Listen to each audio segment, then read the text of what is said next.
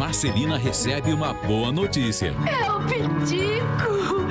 É o cachorro do Julinho! E Inácio, uma boa proposta. Se você for morar em Sorocaba, eu posso te chamar para trabalhar na fábrica. Que pode dificultar ainda mais esse encontro.